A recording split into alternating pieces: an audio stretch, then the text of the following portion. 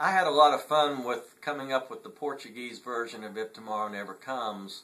Eduardo and I worked on it for about three months back and forth, trying to get the translation where it made sense in Portuguese and made sense in English. And sometimes it didn't make sense at all, but we kept working on it, and we finally came up with a version that I think works for English and for Portuguese. There's some things that are different in both languages that we just couldn't find a different way of saying it, so we split the difference. And I think Eduardo did a really good job of hanging in there and working with me and coming up with the right lines to make the song be incredible. And I, I love their version of it.